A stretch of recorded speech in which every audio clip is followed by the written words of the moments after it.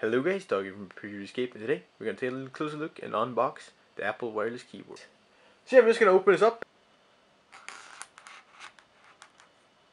Slice, slice this little plastic off. Yes, we could. Look at that. Okay, so everything's working out so far. Awesome. Ah, it's really... Come on out. We gotta apply some epic force to this, or else it won't really really work. Here we go. Yeah. Okay, there we go. Look at that. Just gonna open this up right now. And it's really nice. Look at that. And there we go. Look at that. Awesome. I'm gonna take off take out the keyboard here. Uh, looks really nice. It's also plastic plastic around that. And we got a bit of instru instructions as well. Okay, so first of all, we're just gonna take a little closer look on the instruction manual and such. Uh, and it's gonna open it up right now. Here we go. And yeah, there we go. Okay, Apple wireless keyboard. Kind of, uh, well, self-explanatory, I guess. It's, well, yeah, basically how you use it, which you probably know already.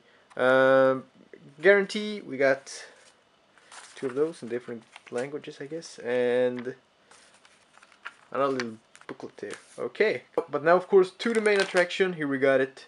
The keyboard actually quite heavy, really nice. Uh, really responsive keys as well. Uh, but we gotta take off the plastic before we even talk about it, I guess. So yeah, here we go. And uh, no,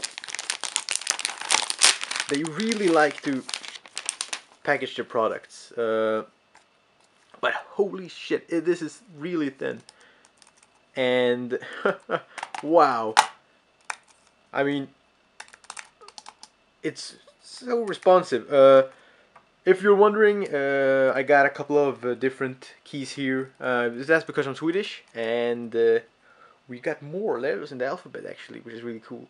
28 instead of uh, 26 or something like that. Okay so the keys on top here is the media keys. We got escape we got brightness settings mission control things like that of course play power and volume up and down. We also got the numbers here of course and the keyboard. We got the command button right here.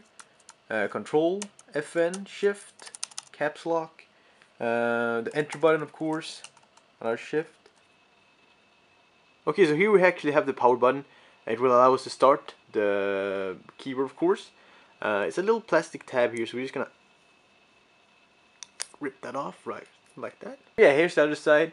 And there's also a little plastic tip here. We're to remove that as well. There we go. Uh, and here's where you actually put in the batteries. And uh, they say batteries actually are included, so we're to take a little close look at that.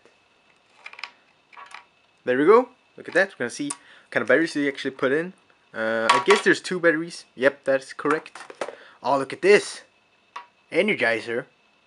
Awesome. On the back of the keyboard we got plastic here. Uh, and uh, yeah, as you can see, I don't know if you can catch that, but there's an Apple logo in the center there and uh, kind of safety things in, in the bottom right there. Uh, we also got some a couple of feet uh, under here so it will keep it secure and steady.